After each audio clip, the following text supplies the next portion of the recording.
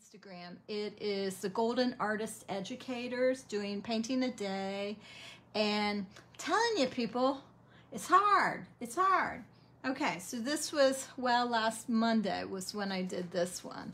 And I am not that thrilled with it, but you know what? I got it done and I've gotten a painting done every day.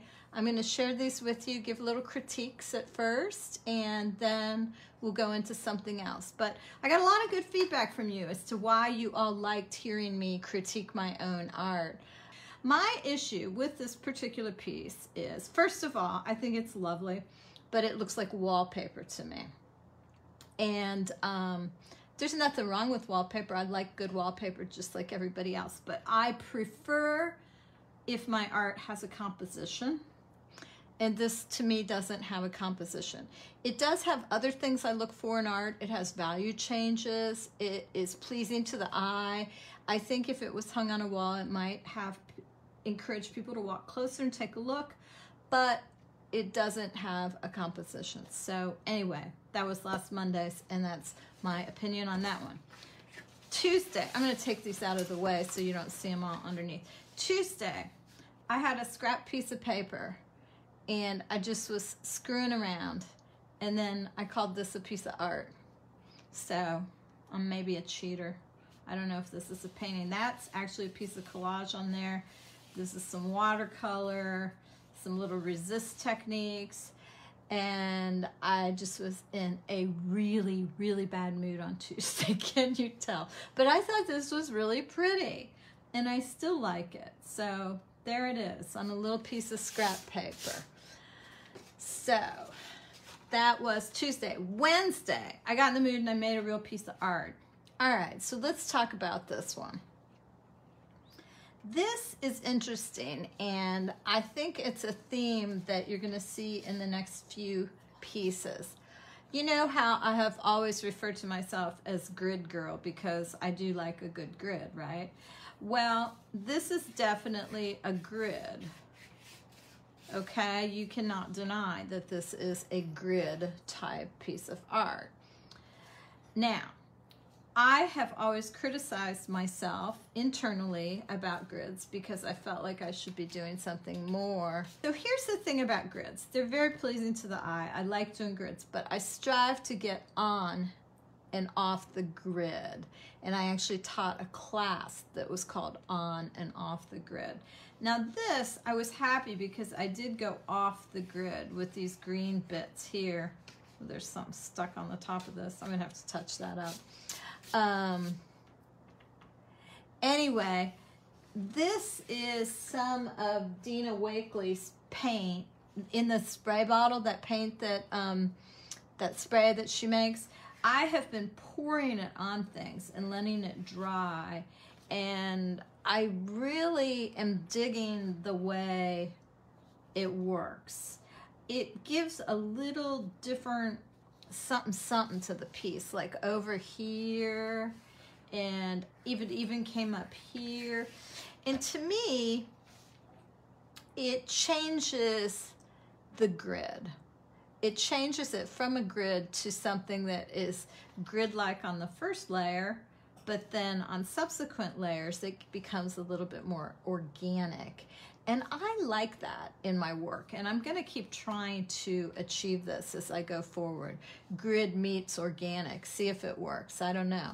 This is actually an old paper I found uh, years ago, and it has little dots in it. It's, um, it's actually textured when you feel it. I really like it a lot. I sort of, um, cherish it and I love it. Um, and then this, I am very interested in the actual the true physicality of the paint. So this is a big old glob of paint that I just stuck on there. And sometimes I make those globs of paint separately over on pieces of plastic and then I like peel them off and then glue them on. Anyway, I don't know, I'm just all whipped up about the physicality of paint. So this was the next one. It was on a wood panel, this one, and I'm gonna tell you guys, this went through some unbelievably ugly ugly stages, more than one ugly stage. I had to keep pushing myself because I was like, oh my God, seriously. But I ended up using tissue of another painting that I had made. So it, it's a very interesting revisit of you know, uh, you know, I make all of my own collage elements anyway, my parts as parts. And so this was kind of interesting to take the parts as parts idea and to turn an actual painting into tissue paper, but then use the tissue paper in a new painting. So it was fun and cool. And that was that was a good day. The next day, in this one, over on Instagram, this one got a lot of love. I'm gonna see if I can straighten out this paper a little bit more. I don't know if people just love blue or if they just love the painting or whatever, but this blue one got a lot of love over on Instagram. And this is one of those paintings that came really fast. These are the little paint swatches. This is one here that I cut off and these are some over here. But then this is something I painted to kind of look like one too. I just was in the mood to work with blue and I just threw a bunch of blue collage parts on my table and then started putting them together. Uh, this is a cyanotype um, part of a plant and a little blueprint piece and then this is just a little dribble of paint on a piece of I don't know, text, a text page. But this is why I save everything. I just love that idea of getting it all out and playing with it. I did use some stencil parts here. This is that stencil of mine that we gave away with the sale. Oh, this was Saturday.